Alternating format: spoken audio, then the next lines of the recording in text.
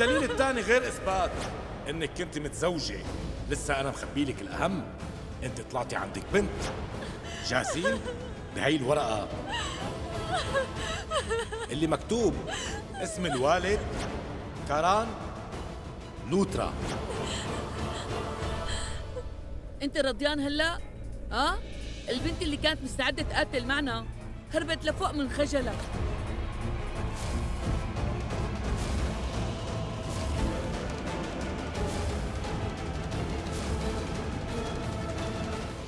شو يعني هلا؟ نحن ما كنا عم نقول لكم الحقيقة.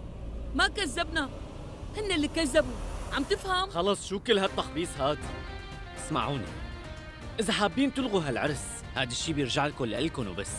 سونا قالت ما بدها تتزوج. لهيك حاجة تلعبوا هي الألاعيب. وهلأ اطلعوا لبرا ولا تعصبوني. طالما أنت عم تهين عيلتنا أكيد ما رح نبقى ولا ثانية عندكم عم تفهم؟ عاجبكم هي الإهانة؟ بصراحة عزمنا عائلتنا ليحضروا العرس. قلنا لكل أهل المنطقة إنه ابننا راجات رح يتزوج. في ناس إجوا لعندي سألوني إذا كل شيء تمام؟ لأنه واضح العيلة غنية كتير من خوفهم وحرصهم مع إنه أتشالا ما شافت شيء غلط. وهن حبوها لسونا سونا ما في منها بس الموضوع مو إني حبها أو لا هي سمعت بنت.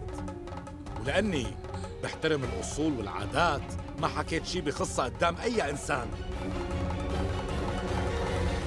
طلبت من مفتش مختص يعرف لي القصة. وهيك بكون أنا حافظت على اسم بنتكم وسمعتها من الإشاعات ومن تلميحات العالم.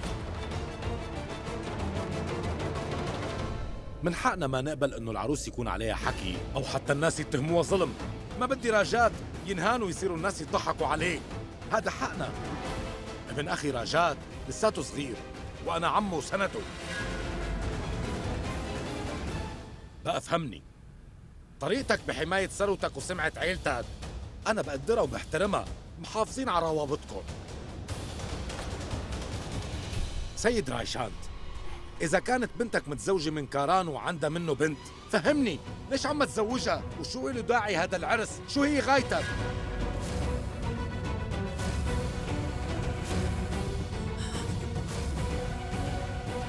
وأنت كاران لوترا قلت إنه سونا كانت رفيقتك. لساتكم سوا؟ شو عملت لها؟ كيف قدرت تعمل هيك مع رفيقتك؟ شو ما عندك ضمير وما بتستحي على حالك أنت ابدا؟ اسكت اسكت كلمة تانية. رح أنسى إنك أكبر مني وما أحترمك.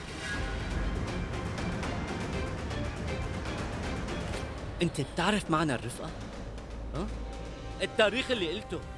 شهر أيار 2017 وقتها كنت بطل الجمهورية بالكريكت وكنت ملتزم. كنت كتير جدي بشغلي. وبعمري ما خبصت مع بنت. وسونا. سونا كانت مجرد رفيقة.